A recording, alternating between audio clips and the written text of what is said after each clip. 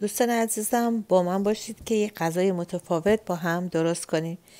این غذا بیشتر شبیه پریاشکی گوشت هستش ولی به جای گوشت شما می‌تونید از پنیر می‌تونید از اسفناج یا گل کلم یا هر سبزیجاتی که مورد علاقتون هست داخل این نون استفاده کنید.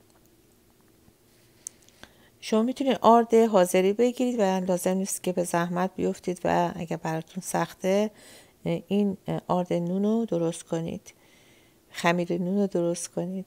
یه لیمون آرد میریزیم و یه آش آشای خوری مخمر نون رو اضافه می‌کنیم و من به جای شکر یا اصل گلوکوز استفاده کردم. اولین بار بود که گلوکوز استفاده می‌کردم دوستان.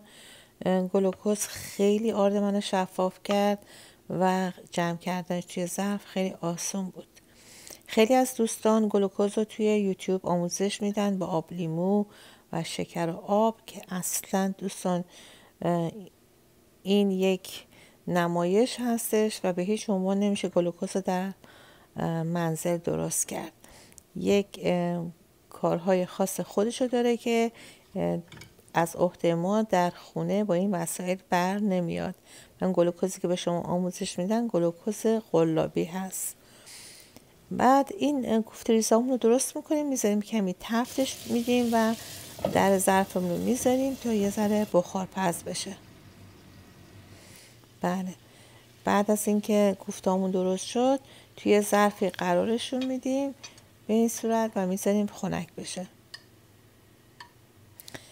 بعد از این سری به آرد اون می‌زنیم که ببینیم که آیا مخمر ما فعال شده یا نه و چون که این آردمون یه مقدار شل هستش نصف استکانم بهش دوباره آرد من اضافه می‌کنم و اینو حسابی مخلوط می‌کنم و در روی میز کار پن می‌کنم.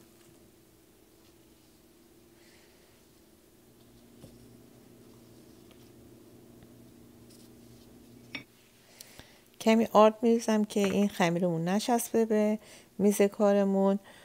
بعد یه تیکه خمیر رو برمیدارم و با دستم اینو پنش می‌کنم.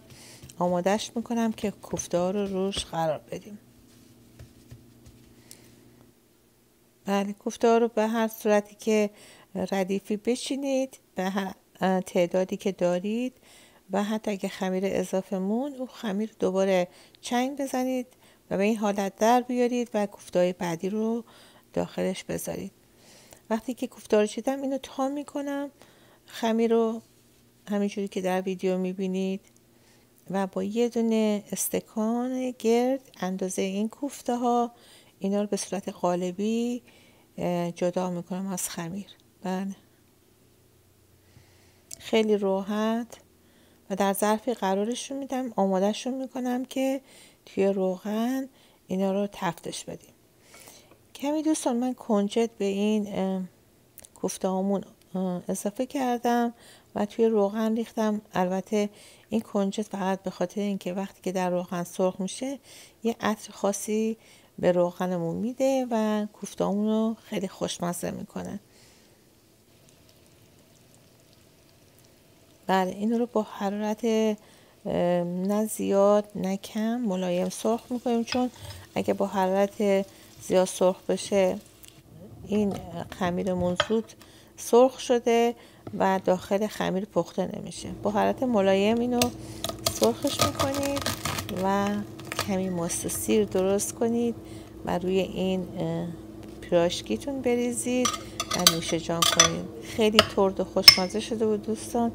من دیگه نتونستم صبر کنم تا ویدیوم تموم بشه. دیگه شروع کردم به خوردن و خیلی ترد خوشمزه گوشتا کاملا پخته شده بود و با ماست و سیر خیلی مزه دلچسبی داشت. بهتون پیشنهاد می‌کنم حتما درست کنید و حتما حتما خوشتون خواهد اومد و امیدوارم که این ویدیو منو دوست داشته باشید دوستان. و درست کنید و در کنار خانواده با سلامتی با دلی خوش نوش جان کنید. با کمی ماست هم می‌تونید اینو روش رو تزیین کنید یا با کمی پنیر پیتزا می‌تونید روش بپاشید و کمی حرارت ببینه که شکل و شمالش قشنگ بشه. مرسی که ویدیو من نگاه کردید. هر جای دنیا هستید سالم و سلامت باشید.